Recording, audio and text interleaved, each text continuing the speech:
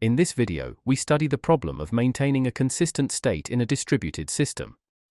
This problem is often referred to as state replication. The goal is to get an understanding of the challenges and the pros and cons of different approaches to overcome them. Let's start by introducing an abstraction. A distributed system may consist of various different types of machines and devices that can run computations and communicate over certain communication channels. For our purposes, it doesn't matter what type of device it is, we simply call any part of the distributed system a node. The distributed system consists of multiple nodes, each node has its own memory and carries out its own local computations. The only way to interact with other nodes is to exchange messages. While we don't care what computational device it is, we may assign different roles to the nodes.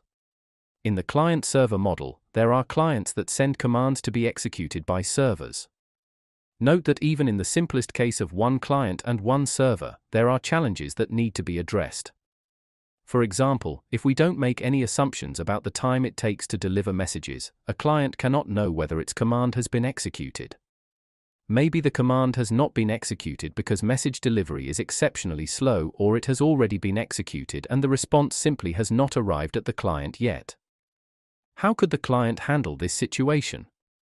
If there is a chance that the message got lost, it could simply decide to issue the same command again. However, if the server did execute it, then there is now the risk of executing the same command twice, which was not the client's intention. How can this problem be fixed? I suggest stopping the video now to think about a possible solution. We'll continue here shortly. Ready? A straightforward solution is to store information about executed commands at the server. If it receives the same command again, it will ignore the request or reply again that it has already executed the command. One way to implement this is to associate each command with a number, incrementing the next expected number at the server with each request.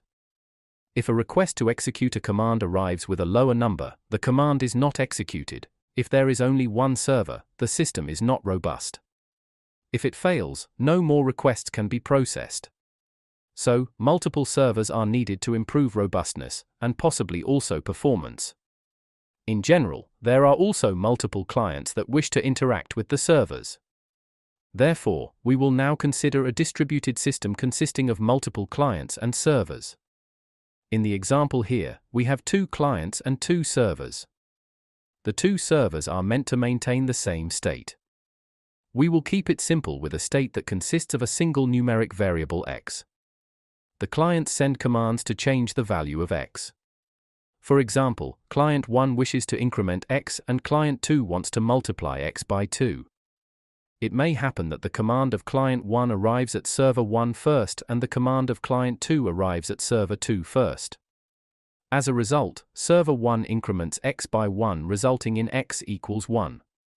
On the other hand, x is still 0 after multiplying x by 2. Subsequently, the command of client 1 arrives at server 2 and the command of client 2 arrives at server 1. Once these commands are executed, we see the value of x at server 1 and server 2 are not the same. Obviously, the reason is that the two commands are not commutative. So, in general, it matters in what order the commands are executed. How can we solve this problem? Again, stop the video here and think about possible solutions to this problem. We will resume shortly. This problem is exactly the state replication problem we are trying to solve.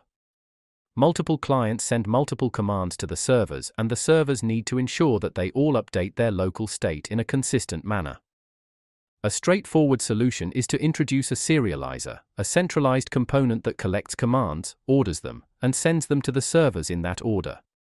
In the example here, it receives two commands but only forwards the first command to both servers for processing. Once it receives the response from both servers, it sends the response to client 1.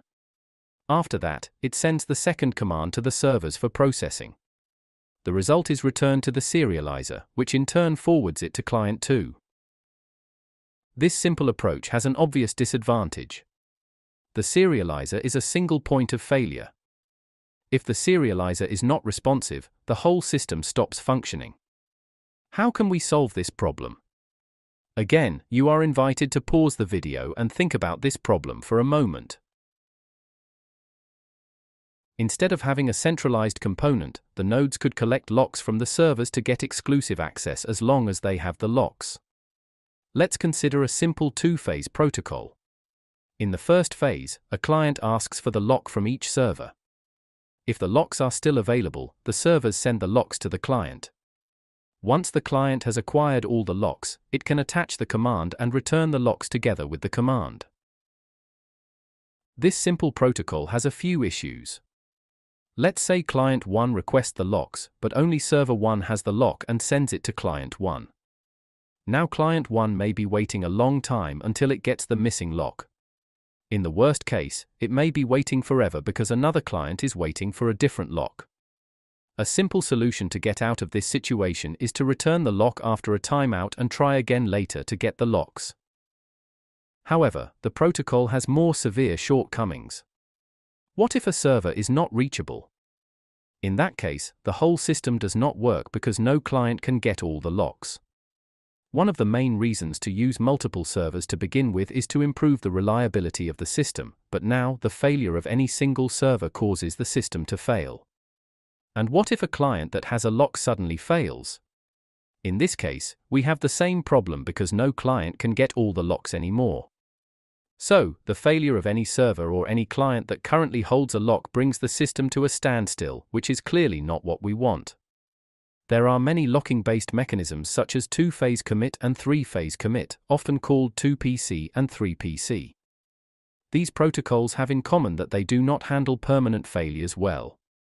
Let's now summarize what we learnt in this video we introduced the important problem of state replication, which is about maintaining a consistent state across multiple nodes, or servers, when dealing with multiple clients that interact with these servers independently and concurrently. We learnt that there are quite a few challenges. We can solve the concurrency problems by introducing a centralized serializer, but the serializer is a single point of failure. Instead of using a serializer, we can use locks to serialize access, but it is difficult to handle permanent server failures or the failure of clients that currently hold locks. We learnt that a more flexible concept than a lock is needed to be able to deal with such failures. Thanks for watching.